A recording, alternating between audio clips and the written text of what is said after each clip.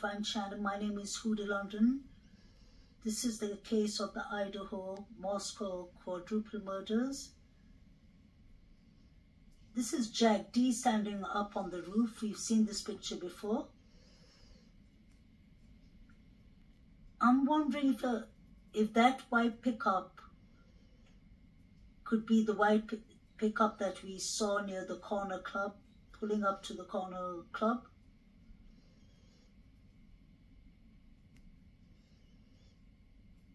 This picture is from Jack Duco is TikTok.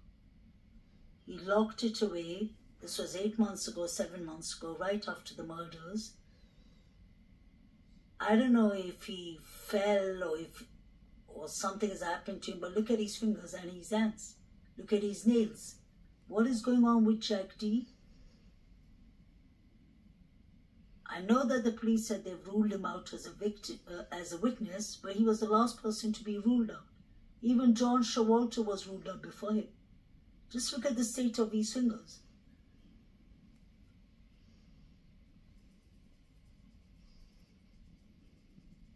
I've always said that before. I'm sure this picture's after the murders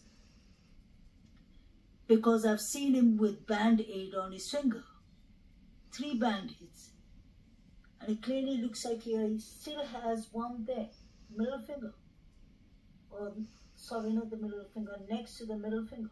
Look at his nails. Where was this man to have damaged his fingers and hands so badly?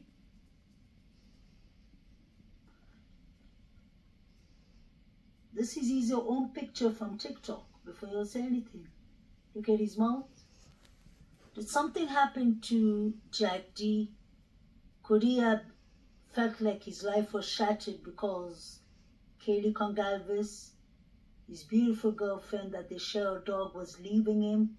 She was moving to Texas and she was going on a holiday to Europe for a year.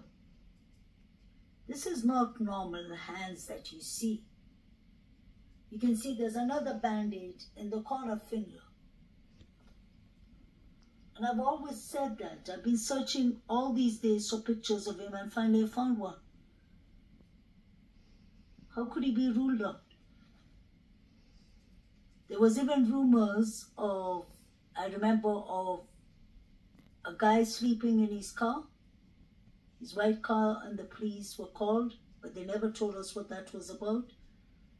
We heard rumors that D was homeless for a while around those timings. What has happened to his hands and his legs?